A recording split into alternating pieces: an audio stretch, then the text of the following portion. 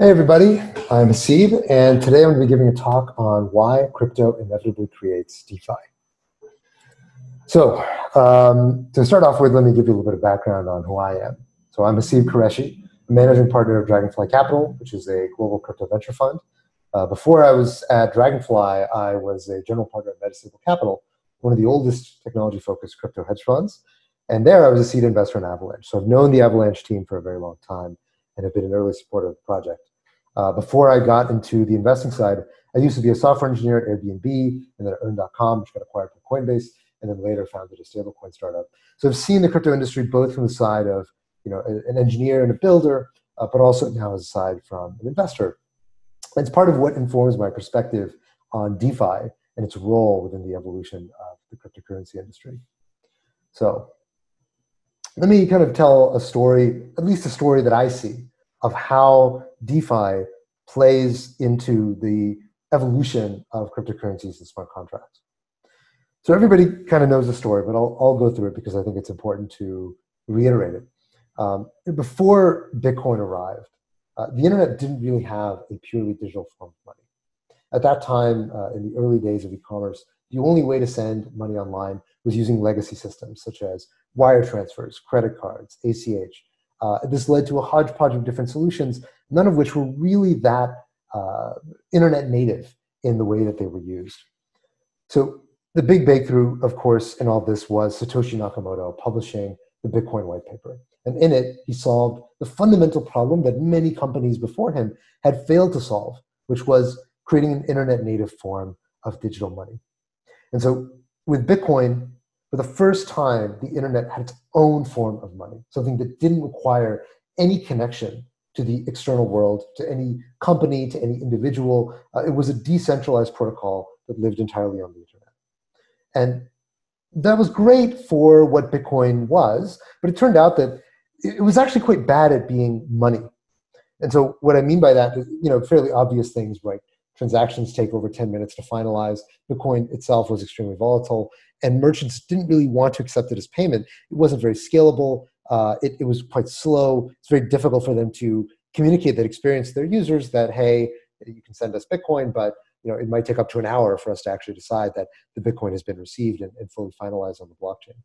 Uh, but that being said, uh, you know, many people saw the promise within Bitcoin, uh, but you know, the, in, in uh, the period of time when Bitcoin started really gaining a lot of popularity, uh, the narrative that many folks in the traditional world saw from Bitcoin is that, hey, okay, this thing's cute. Uh, maybe you guys can use it to buy drugs or do other weird things online. Uh, but Bitcoin itself, internet native money, that's probably not the real innovation. The real innovation is the thing underneath it, blockchain. And so this narrative became known as Bitcoin, or sorry, it became known as blockchain, not Bitcoin. And the story here is that maybe the underlying technology is what really matters. Bitcoin itself is this weird artifact. It's what these you know crazies on the internet are using. But what else can you do with a blockchain? And so there was this narrative that was very much promulgated, especially in 2016 and 2017, by consultants and by you know folks like uh, Gartner and Deloitte, who essentially sold the story that there are hundreds of different applications that can be subsumed under uh, the, the, the, the innovation of blockchain. So things like auditing and IoT and asset ownership and supply chain management, all these different things that were going to be almost magically solved in one fell swoop using the fundamental primitive of blockchains. And so it's really only now in retrospect that we can see that the vast majority of this blockchain hype turned out not to hold a lot of muster. Uh, there was this great uh, overview that was published by Cambridge, uh, which sort of benchmarked many of the enterprise applications that uh, were initially touted as uh, impl- implementations of blockchain. And turned out very, very few of them actually turned out to have had any kind of meaningful adoption. Most of them were just a, a news article, some tweets, a great blog post, uh, but then they sort of uh, got retired somewhere into the basement of corporate innovation projects. And so, you know, what, what happened was that the world ended up pulling back from this blockchain story and started to take the crypto aspect of crypto uh, of cryptocurrencies more seriously. And so, you know, in retrospect, uh, we, we sort of pulled back and saw that okay, hey, Bitcoin was a breakthrough. Fine, it's not a great payment system, but so the narrative kind of transfused and said, but it's inforgeability, it's scarcity. It makes it a great store of value, right? It's a great digital gold, is the narrative that, that Bitcoin eventually evolved into. Uh, but it was recognized that Bitcoin's functionality was minimal. There were a lot of things that one wanted to do if you had digital money, but Bitcoin couldn't really deliver on them. And so the, the natural question is okay, once you make money digital, what else can you do? What else do you want to do with digital money? And so you had this renaissance of many other coins. Uh, they became known as these sort of uh, these altcoins. Right? These coins like Blackcoin, Litecoin, Namecoin, Feathercoin, uh, and, and these different uh, uh, Peercoin, another example. Uh, many of these coins basically took one extra feature or one extra part of Bitcoin's very limited virtual machine and tried to make Bitcoin do more things than it originally did on the tin. Um, and all of them were, were kind of out of this recognition that, okay, once you have digital money, of course you have all these other things you want to do with digital money. But you know, there was there was this application uh, called Ethereum that basically said, look, uh, if if if you if you just generalize this whole thing and you make all contracts digital, what if you make it so that property and money can be completely governed by code? So not just kind of dingy little, you know, one-off opcodes that you can do and you know check this out, check this signature, check that signature, but instead you allow any arbitrary code to govern the way that money is appropriated. That created the advent of what we now call smart contracts. Through Ethereum and through Solidity, which was you know, kind of the first janky smart contract platform that we really had in cryptocurrencies, uh, this created a sea change in the way that people started to perceive what cryptocurrencies could do, how they could be fundamentally different than any form of money that preceded them. And so that led almost instantly after the creation uh, and the, the, the, widespread adoption of Ethereum to the ICO bubble. And of course, ICOs, they led in aggregate to over $14 billion that was raised. I remember at the time, you know, people were people were just uh, absolutely going crazy over this idea that ICOs were going to displace venture capital and that pretty soon you know, VCs were going to be a thing of the past, and every company was going to start raising money through ICOs. Of course, in retrospect, we see kind of how crazy this is. But at the time, there was this real energy around the idea that ICOs were fundamentally different. That this was almost a perfect use case that married smart contracts to you know old school forms of capital formation. And so now, how does this all relate to DeFi? I promise you, this is going to be a talk about DeFi. Here I am talking about ICOs and blockchain. Um, what's what's where, where am I taking you here? uh, here's the claim I want to make for you is that DeFi is actually the generalization of every step that has been taken before getting to the point where we are today. Okay, let me let me paint out that that picture for you. So, uh, you know, what is DeFi to start with? DeFi is the generalization of this new financial infrastructure that started with Bitcoin being digital gold, then to uh, uh, Ethereum being sort of digitally programmable money. Uh, now we have things like Compound, which is to get a loan from a smart contract.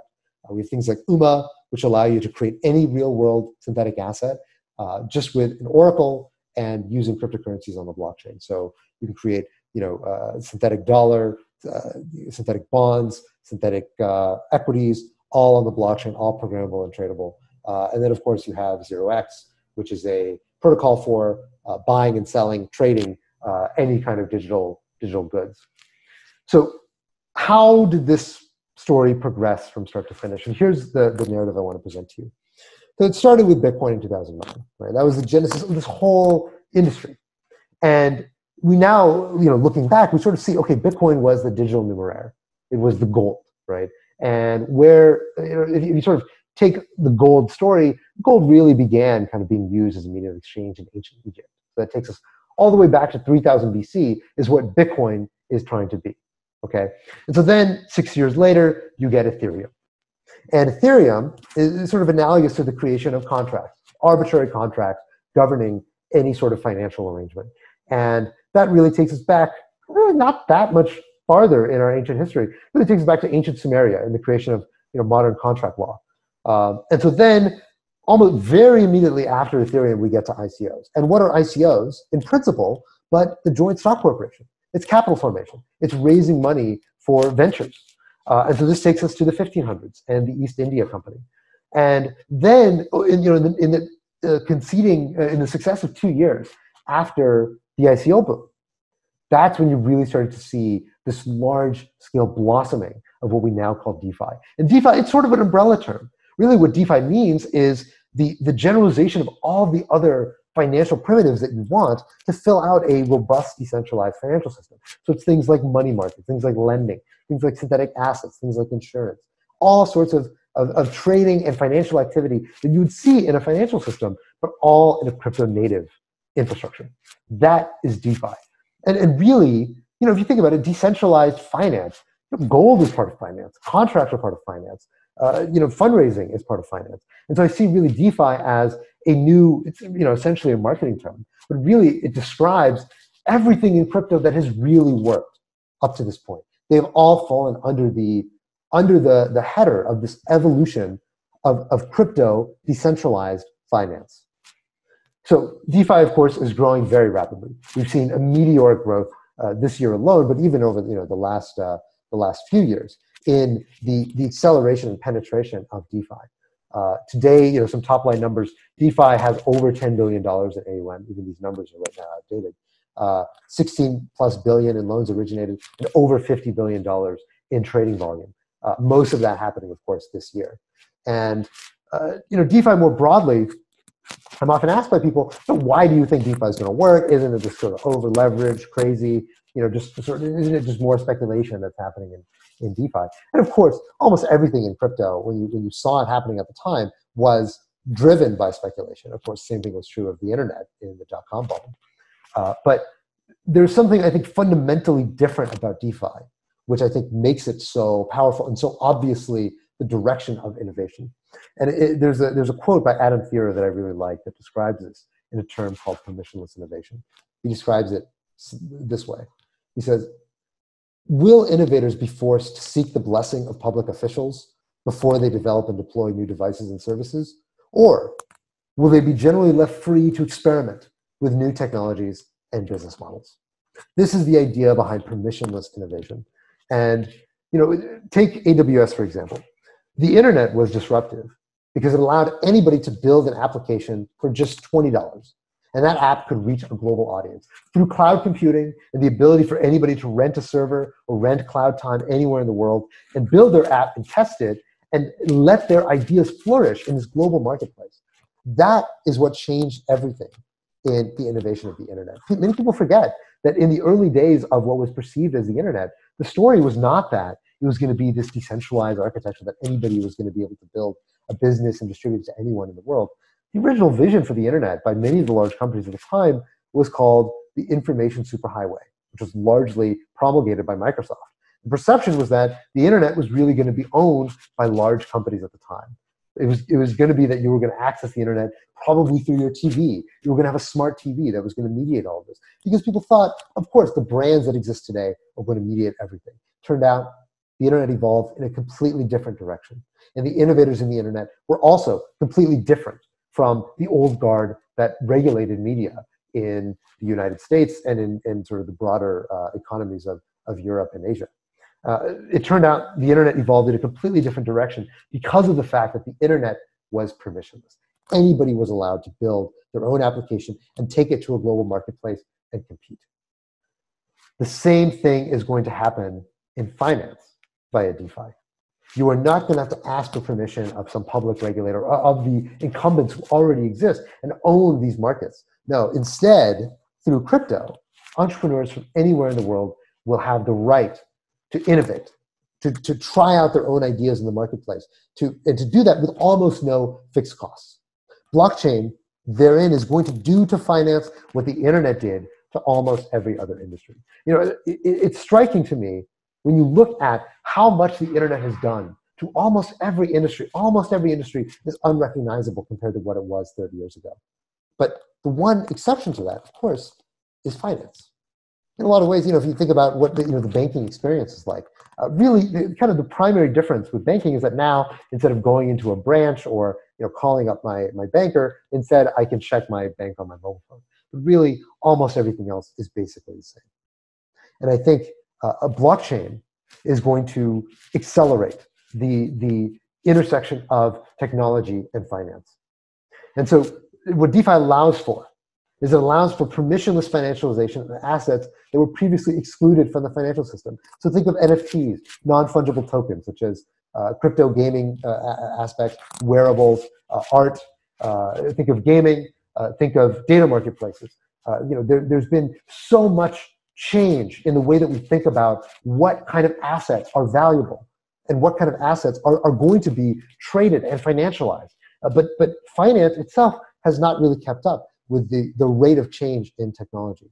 Uh, and so it's going to it's going to be up to blockchains and public crypto uh, and DeFi platforms to make up for that difference and create the global marketplaces that we need for all of these new digital assets that are that are coming. And so there's already been a Cambrian explosion in the startups, in the in the uh, users, in the, uh, in the in the number of entrepreneurs who are coming into the space. And I don't think it's going to stop anytime soon. So DeFi needs a new operating system. It started on Ethereum, but Ethereum, it's very clear, cannot handle the scalability requirements. Uh, so as we move from MS-DOS to the operating systems of the modern day, I, I believe that Ethereum, certainly Ethereum 1.0, is not going to be sustainable as the operating system for DeFi. It's going to need new contenders to come up and take the mantle of what DeFi demands of them. And that's part of the reason why I'm so excited about Avalanche.